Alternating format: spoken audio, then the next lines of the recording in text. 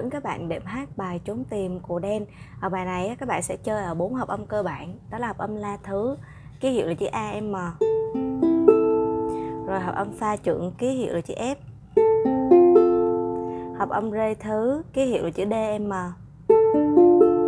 hợp âm mi 7 ký hiệu là chữ E7 thì cái hợp âm mi 7 này các bạn có thể bấm như vậy cũng được, hoặc là mình dùng cái ngón cái để mình bấm cái nốt trên cùng này cũng được ha. Rồi hai ngón này bấm ở đây đó mình thấy tiện cái nào thì mình bấm. À, nhưng mà lát nữa vô bài á à, đánh vô cái tiết tấu này nè. Mình không có xài dây 4 cho nên các bạn họ cần bấm dây 4 cũng được mình có thể bấm ở đây thôi. Đó còn nếu mà bạn nào mà muốn quạt á thì mình phải bấm đầy đủ hết nha. À, đầu tiên thì dung sẽ hướng dẫn các bạn cái phần intro tức là khúc nhạc dạo đầu à bạn nào mình không tập cái intro này thì các bạn có thể tua qua để đến luôn với cái phần đệm hát nha. Vào với phần intro thì bạn nào biết đọc tab rồi các bạn có thể xem cái bàn tab như vậy trên màn hình nè. Còn ai chưa biết đọc tab thì bây giờ dung sẽ hướng dẫn cụ thể luôn nha. Dây đàn của mình từ trên xuống dưới nó sẽ là 4 3 2 1 ha. À, còn cái dòng kẻ tab á, thì nó tương ứng với dây đàn nhưng mà mình sẽ nhìn ngược. Tức là cái dòng kẻ tab từ trên xuống dưới là 1 2 3 4 như vậy là mình nhìn cái dây đàn cuối cùng nó sẽ tương ứng với dòng kẻ trên cùng đó và dòng à, và dây đàn trên cùng thì tương ứng với dòng kẻ cuối cùng. Cứ thế các bạn sẽ tính những dây còn lại. Còn những con số nằm ở trên những cái dòng kẻ đó thì nó sẽ tương ứng với lại những cái ngăn đàn à, con số 0 tức là ngăn không. Ngăn không là tay trái mình sẽ không có bấm vào ngăn nào hết. Và con số 0 nó nằm ở trên dòng kẻ nào thì tay phải của mình sẽ đánh vào cái dây đó. Rồi ví dụ như là con số 1 tức là tay các bạn sẽ bấm vào ngăn thứ nhất. Ở đây ngăn một nè đó, và con số 1 nó nằm ở trên dòng kẻ nào thì mình sẽ bấm vào cái dây đó. Dùng ví dụ như là con số 1 nó nằm ở trên dòng kẻ thứ ba thì mình sẽ bấm vào ngăn một dây ba ở đây và tay phải sẽ đánh một lần dây đó. Ok chưa? Rồi bây giờ mình sẽ vô cụ thể cái bảng tab này luôn nhé.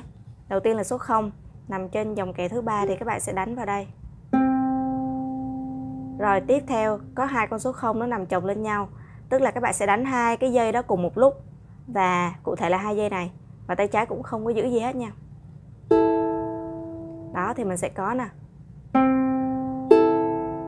Tiếp theo các bạn thấy những cái dấu ít đó tức là mình sẽ đập vô dây đàn như vậy.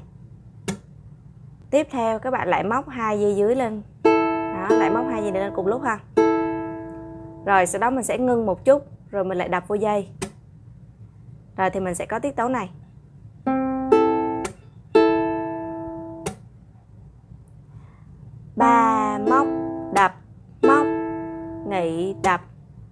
3 đây tức là dây 3 ha. Đây đây dây số 3 còn móc là mình sẽ móc hai dây này lên.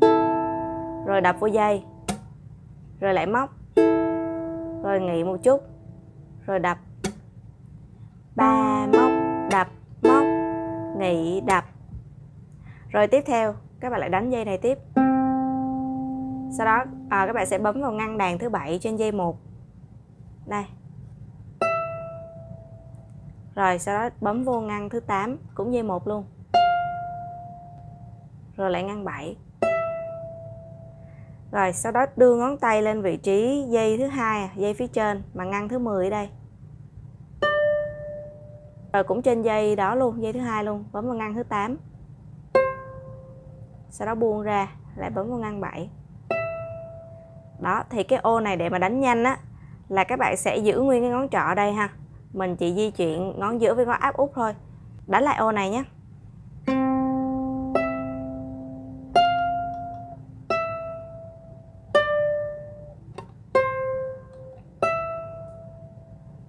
Rồi, ô tiếp theo. Các bạn bu tay ra, mình sẽ móc ba dây này lên cùng lúc. Rồi đập. Rồi lại móc. Sau đó ngưng một xíu, rồi đập. Thì cái chỗ này nó sẽ là móc móc nghỉ đập.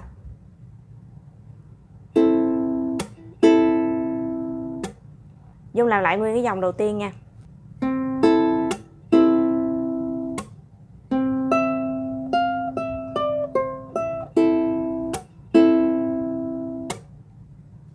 Rồi đến dòng tiếp theo nè à, Cũng lặp lại cái câu kia luôn.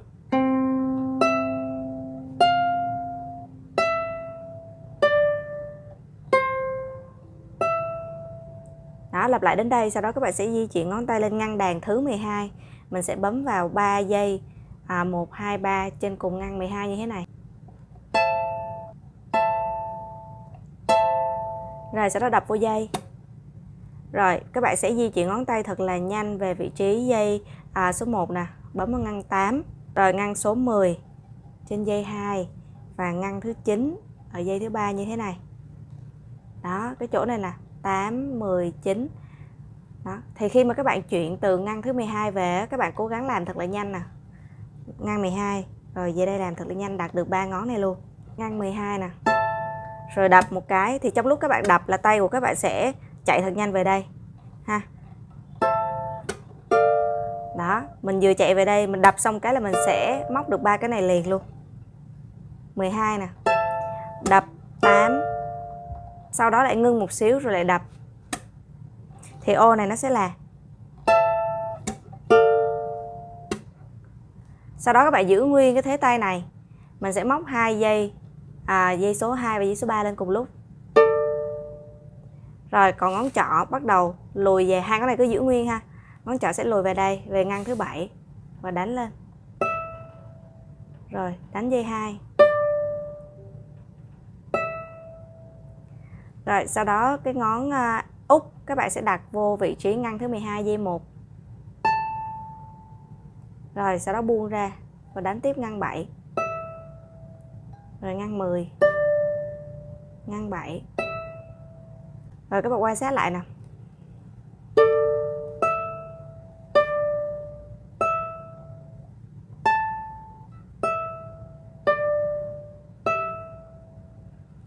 Rồi, dùng đánh lại dòng này nha.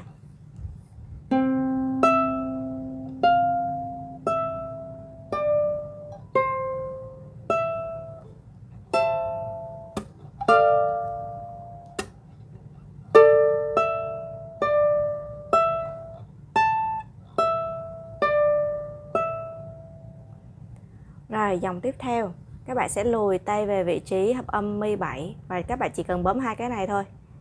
Đó, sau đó mình sẽ chập ba dây dưới lên. Đó, nó cũng là móc, đập, móc, nghỉ, đập. Sau đó chập tiếp dây số 2 và dây số 3. Rồi đánh dây dưới cùng hai lần. Sau đó kéo lên ngang 7 rồi ngăn 5 ngăn 3 ngăn 2 rồi buông tay ra, móc 3 dây dưới. Móc, đập, móc, nghỉ, đập. Đó, như vậy là kết thúc intro. Bây giờ Dung sẽ đánh lại cái dòng cuối cùng này ha.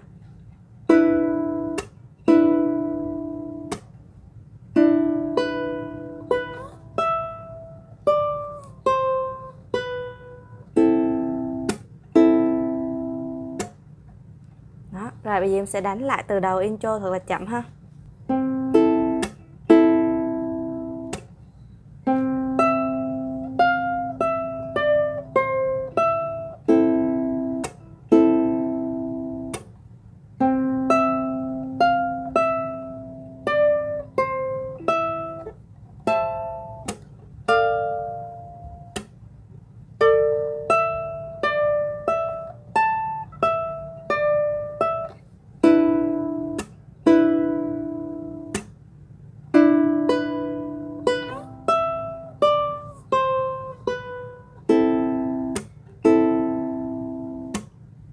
Ok, vô với phần đệm hát bài này á, thì các bạn có thể sử dụng cái tiết tấu này. Ba móc đập móc nghỉ đập. Ba là mình sẽ đánh dây ba ha. Rồi còn móc đầu tiên các bạn sẽ móc hai dây số 2 và số 1 lên cùng lúc. Rồi mình đập vô dây đàn. Sau đó các bạn sẽ lại móc 3 dây 3 2 1 lên cùng lúc. Mình sẽ nghỉ một chút rồi mình đập vô dây đàn. Đó thì tại cái vị trí mà móc 3 dây á à, các bạn có thể móc 3 dây này cũng được hoặc nếu không quen thì các bạn móc hai dây này thôi cũng được ha. Ba móc đập móc nghỉ đập. Đó móc hai dây này cũng được hoặc là ba móc đập móc nghỉ đập. Thì mình sẽ nghỉ bao nhiêu lâu? Và trong cái bài này thì mỗi hợp âm các bạn sẽ đếm được tới hai lần 4 phát. Thì khi mà vào với công thức nha mình sẽ tính như vậy. 1 2 3 4 3 móc đập móc, đập. Thì tại ngay cái phát thứ ba là các bạn sẽ ngưng không đánh. Là mình nghĩ ngay phát thứ ba ha, các bạn có thể vừa dặm chân để vừa đánh công thức theo. Ba, móc, đập móc, đập. Mỗi hợp âm các bạn sẽ đánh công thức này là hai lần ha. Ba, móc, đập móc, đập. Ba, móc, đập móc, đập. Chuyển, ba, móc, đập móc, đập. Ba, móc, đập móc, đập. 17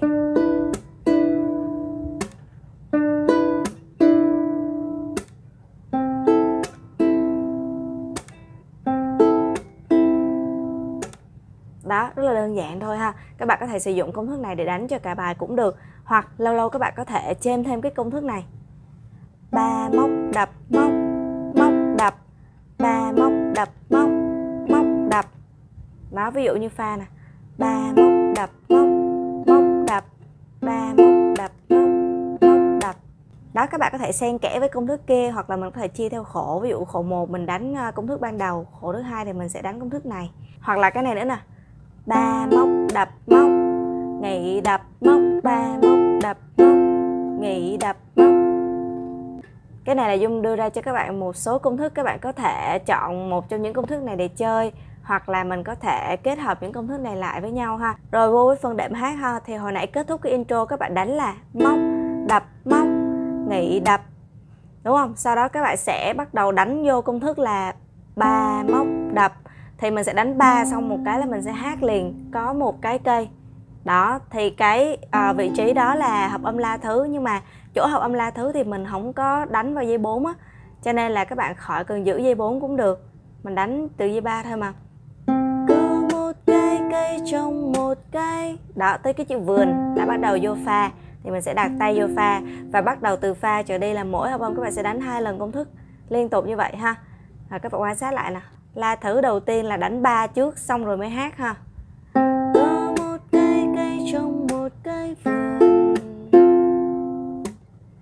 trên những thân cây nở rộ những đóa hoa có hai đứa nhóc đang chơi trốn tìm. Tìm hoài tìm mãi nên quên lối về. Đó, sau đó là mình sẽ vô với cái phần rap phần rap vẫn sử dụng những cái tiết tấu này để mình chơi. Thì lát nữa dung sẽ mượn cái đoạn rap của anh đen để mở lên để đánh mẫu cho các bạn ha. Bây giờ dung sẽ nói về cái cách quạt ha. Và cách quạt của bài này á thì cũng đơn giản thôi. À, bạn thích quạt cũng được còn không thì các bạn sử dụng cái công thức hồi nãy mình chơi cho cả bài là được rồi. Nếu mà quạt là mình sẽ quạt như vậy. Xuống đập xuống nghỉ đập. Đó cũng nghỉ phát thứ ba y như là công thức hồi nãy luôn. Xuống đập xuống đập. Xuống đập xuống đập. Xuống đập xuống đập xuống đập xuống, đập.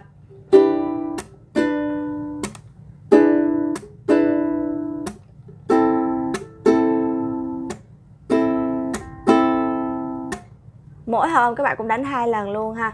Nhưng ví dụ nè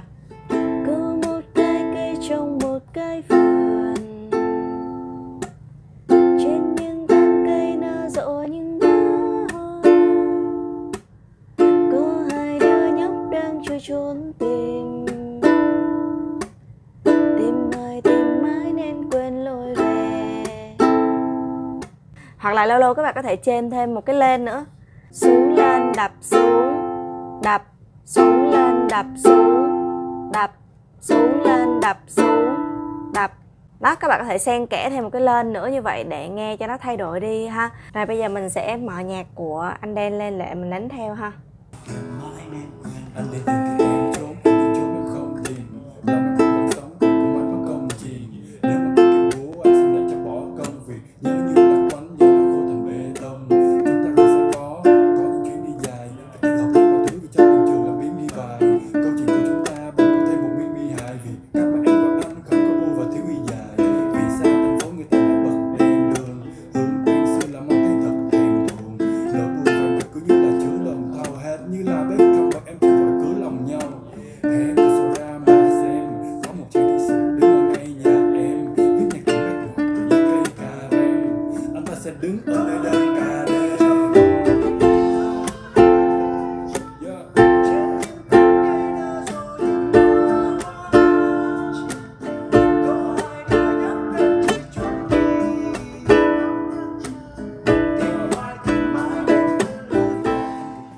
Cứ thế các bạn sẽ sử dụng những công thức này để chơi cho cả bài luôn nhé. Ok, như vậy là hết clip rồi đó. Chúc các bạn tập thật là tốt nha. Bye bye.